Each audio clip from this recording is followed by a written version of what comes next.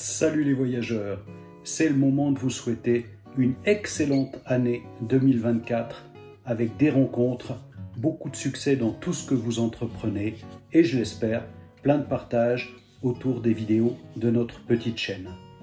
Euh, dans le titre du, de l'épisode, il est également écrit euh, cadeau.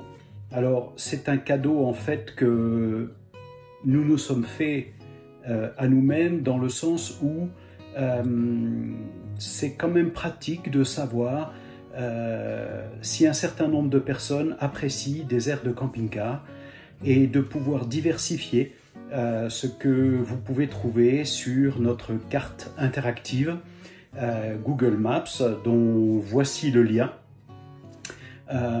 par ailleurs, il y a un QR code qui se promènera de temps en temps euh, bien entendu, pour consulter cette carte, euh, il est surtout intéressant de pouvoir le faire depuis un écran relativement grand et particulièrement dans un environnement Google.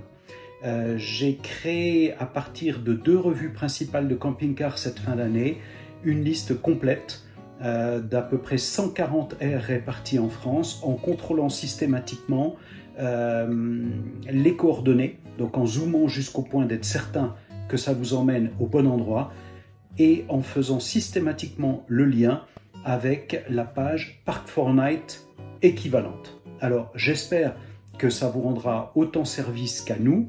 Euh, le but c'est pas ici de remplacer un Park Night, c'est juste d'avoir un petit peu euh, quelques aires pour camping-car euh, qui ont été validées quelque part par des humains et pas uniquement une série, une série d'aires dans une revue.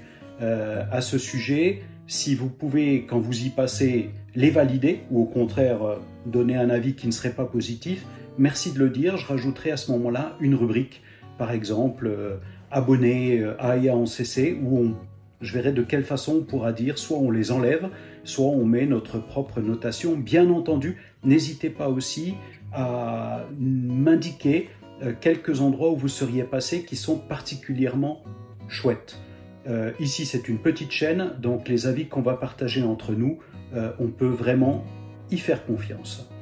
Euh, voilà, j'espère que tout se passera vraiment formidablement bien pour vous en 2024. J'espère que ça va être une belle année. C'était pour nous poursuivre 2023 qui a été une année de changement majeur, puisque comme vous le savez, on a arrêté de travailler et on va pouvoir se consacrer un peu plus finalement au loisir, eh bien j'espère que pour nous toutes et tous, ça continue comme ça, voire même encore mieux en 2024.